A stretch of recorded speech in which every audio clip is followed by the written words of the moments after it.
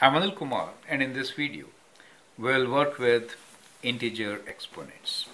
In this series actually one by one I'm taking examples on working with integer exponents, radicals and rational exponents. Go through these videos, all of them, all three of them to understand complete concept. Basically they are all rational exponents, right? Now the question here is how to solve equations with integer exponents. Now when we say integer exponents, we are trying to say x to the power of uh, positive numbers, x to the power of negative numbers, right? All these are integer, right? It could be x to the power of, uh, I mean, uh, let us say x to the power of we don't know and we need to find uh, what this is, right? Solving equation like this, right? So, so these are the type of equations which you might get where the exponents are integers we are saying right? So we'll solve these equations. Let me actually make equations now. So let us say we have x square is equal to so let me write a easy number to work with. And for a cubic equation let me take 27 and here as you know we took x to the power of y as equals to 1 now let us see how to solve each one of them First one, whenever you have x square and you're looking for some number, to solve what should we do? We should square root both sides, right? So the idea is to do square root both sides. That is what we do. And whenever you do square root, incorporate plus and minus sign. That is very important because uh, you know square of a negative number is also positive, correct? So that is a key thing to remember. So square both sides and incorporate plus and minus sign. So that is the gist of it. Correct? So let's do that. So let's do square root. So we have x squared equals to 64. So when I do x square root, so I write x is equals to square root of 64 and then we write plus and minus. So this is the step which I'm trying to explain. So square root, when you do square root on this side, you get x equals to plus and minus square root of 64, right? You have to incorporate both the signs. And now you get your solution as plus and minus 8, right? So that is your solution. At this stage, you can check uh, minus 8 square is equals to 64 and 8 square is also 64 correct? So that is the correct solution indeed right? That's the first part. Now let's look into the next equation. And this time we have x to the power of minus 3 equals to 27 now this minus negative exponent let me write negative exponent is leading to basically reciprocal. So so the equation x to the power of minus 3 could be written as 1 over x to the power of 3 right?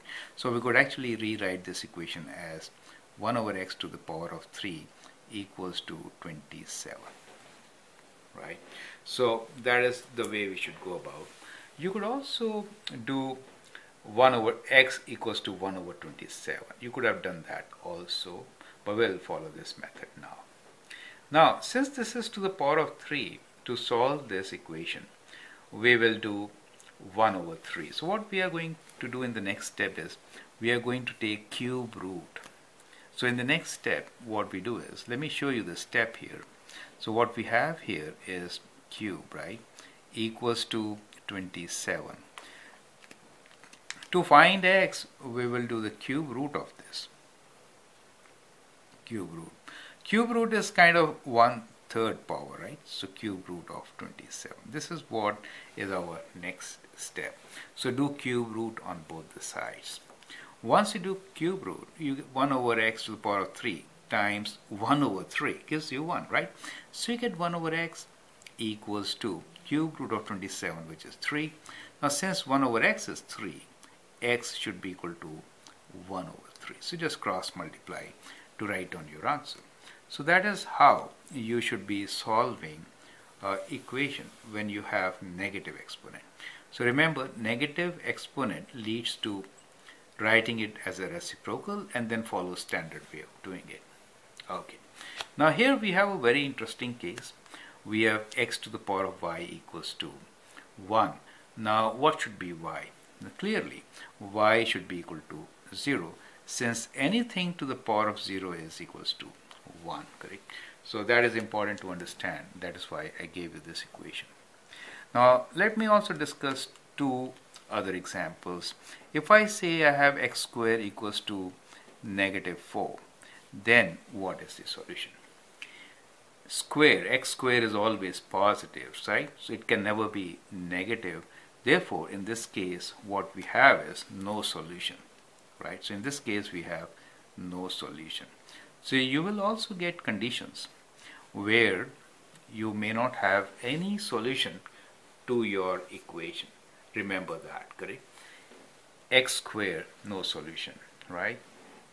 However if I would have written here a question which says x square equals to negative 8 right I mean x cube equals let me make it x cube equals to negative 8 in that case we do have a solution. Since we could write this as x equals to cube root of negative 8 or to the power of 1 over 3 and your solution is negative 2 right? So so cube root of negative 8 is negative 2 so if it is a odd power correct? So odd power then we could get negative results right but if it is even power then we will not get negative results. To summarize let us look into the graph of both the functions. I, I'm just sketching these so that you kind of remember how square root functions like this is the graph of let us say square root of x right? Square root of x. You will see square root graph is always positive. It is kind of like this. However if we have a cube root graph in that case the graph will be kind of like this. So it is of x right? So let us say this is x right? So this is y equals to cube root or cube root of x. So what you notice here is that if this power is uh, in general even right? If it is even x to the power of let us say 1 over n where even n right and here we have a graph of uh, x to the power of 1 over n where n is odd. Where n is odd right? So in that case odd let me write odd integer right? So we'll write odd integer or we'll say odd number natural number let us say. Okay. So we'll not mix it with integers right? Minus will include reciprocal that is all correct so we'll say when it is n is odd in that case the answers could be negative or positive. However if n is even then we are only looking for solutions which will be positive right? So this x square equals to minus 4 will not have any solution. However x cube equals to minus 8 will have a solution right? So I've taken up good numbers for which we got whole numbers as solution. But remember you can use calculator and find solution which could be rounded to few decimal places right? So for you to practice let me give you some questions. Try to find what is the solution for x squared equals 2 let us say 16 so let this be your question 1 remember to write both the answers. And question 2 if I say x to the power of 10 is equals to 5 round the answer to two decimal places. You can use calculator to solve this question right? I hope that helps. Thank you and all the best